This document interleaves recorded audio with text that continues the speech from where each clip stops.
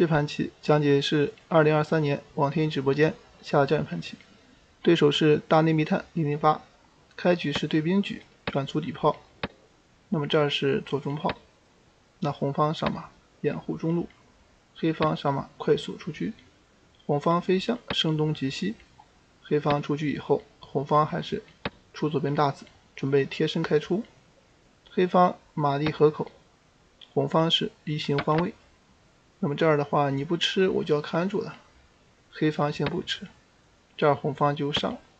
那接下来黑方长车，红方贴身开出。对黑方来讲，他需要走一招飞象，把红方逼退。但是实战的话，他走的是平车过来去吃这个棋啊，被红方兵三进利用了。虽然说你飞象还是可以利用它，他是想贪心抓死炮啊，但是被人家反客为主了一下。对方还是应该看住马再说啊。红方冲兵对完之后再推窝心马，这样黑方还是可以下。他直接换的话就亏啊，人家一吃，这吃得象你不管的话丢一个，那么他选择落回。这样的话红方仍然冲啊，双方进行转换。你这个时候再去推窝心马的话，就相当憋屈了。到这儿的话，他不退也不行，红方这马就上。黑方关键这个车它的位置太差，长不起来。那这样的话，他只好车八进三，勉强看住中卒。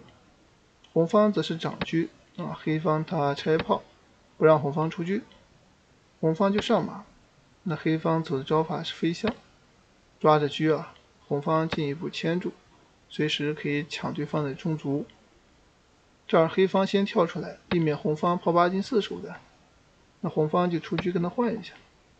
黑方到这儿的话，他就换掉了。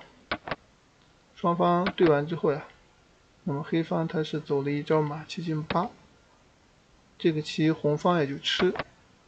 你要是吃的话，杀一将了，吃你炮，所以他想多吃你个象，那对方肯定不愿意啊。他选择的招法是落回去。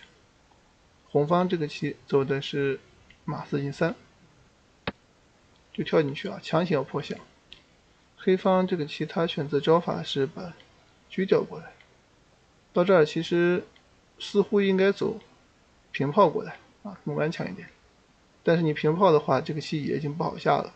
红方随时这个兵又过河了啊，底炮又放上了，所以他也很无奈啊，就先把车拿出来，避免被封住。红方这一登之后呀，如入无人之境呀。这黑方他意思是把你引进来再记住，找机会呢就。飞象啊，抓死马。红方他车五退一啊，为将来回马做准备，就看你吃不吃吧。那吃已经丢象了，不吃也是那回事啊。他决定先退回吧，主要是想守住底线啊，用象去抓对方的马。那红方赶快就回马，金蝉脱壳。到这儿的话，现在将着军啊，对方正常需要补士，他没有选择这个对车的道理啊。因为你对完人家人多势众，你也是时间问题，所以他这里啊决定顽强一下，还想纠缠。红方也没有直接吃，而是走一个炮二平三。这步棋啊确实是欺人太甚啊，黑方也只能退回啊，顽强苦战。到这儿红方就钻进去啊，得势不了人。那走到这儿的话，现实中可能就有人掀桌子了啊，这棋走的也太过分了。黑方的话马上跟他对一下。那这样的话，红方也是简单啊，做交换，他是先将了一局，然后的话换掉，其实也差不多啊。然后红方这个兵过去，他主要把你马引起来啊，再去威胁你，所以呢，步步都是啊先手。黑方这棋也确实是痛苦啊，他想看还看不住，所以他就平了一步准备去看。那这样的话，红方啊还没着急拱，他这儿的话走出来更狠的招法。就是有一个甩车，点将上来跳马，叫杀吃车啊，所以黑方这个车是自身难保啊，看这个马呢更是啊没有机会了。他选择先看老将吧，到这也是非常顽强了。红方小兵这时候开始欺负马，黑方呀从哪里来回哪里去啊，这马太憋屈了。那这儿红方马就进五。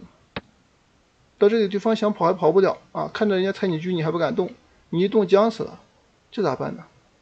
到这儿的话，这个棋他是退了一步啊，也算他走的顽强。什么意思呢？就你要踩到他吃掉，你还是没棋。你将军他可以垫炮啊，对方想的挺周到的。那关键是这个棋你炮一走之后，他车七平六一将，你怎么办？那这时候你现在就有知识了啊，杀是一将你还进不去，所以到这儿绝杀无解，对方只能认输。这盘棋啊，王天一获胜。